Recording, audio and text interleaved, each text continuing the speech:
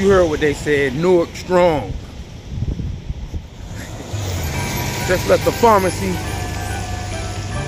and I'm having a colonoscopy. So I got a bag full of goodies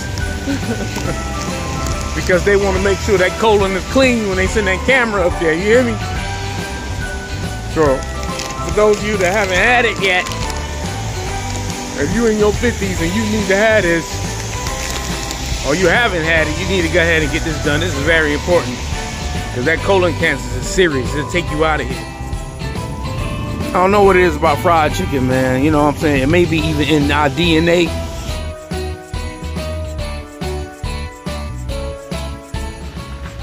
Doctor told me I need to stop eating fried foods because my cholesterol is high. He want me to stop eating fried chicken and fish and stuff like that. But look where I'm at. I'm about to celebrate right now. It's because I'm gonna have to cut out eating the fried food. Homie, you gonna help me out? Look, dude standing back there like, listen, you can't give up the fried chicken. yes, I can. I can order me some chicken right now, and then I may not eat no chicken again for the rest of my life. I ain't gonna tell that lie, but I'm gonna have to cut way back though. Best fried chicken in Norfolk. Or one of the best. They don't just have fried chicken now. They got other stuff in here too. Got pizza, sandwiches. How much is it? Let's see. Please don't forget to like, comment, and share. Alright, so I'm gonna eat this chicken while I talk about the upcoming appointments for this month. Obviously, this is the month of December. I'm doing a Vlogmas. It's gonna be 24 days in this Vlogmas. And uh New chicken pretty good. And um each day is gonna be I'm gonna be doing something different. I got upcoming surgery. I'm gonna have a cyst removed.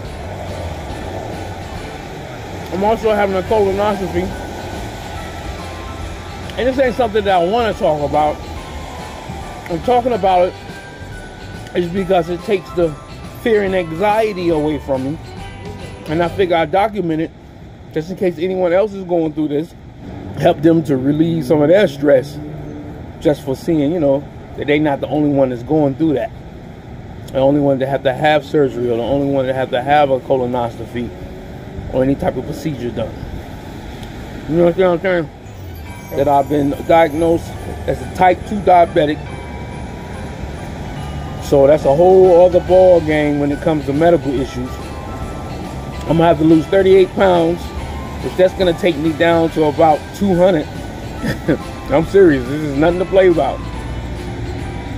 They say I could possibly have chronic kidney disease or kidney failure, whatever you want to call it. My dad is already suffering from that.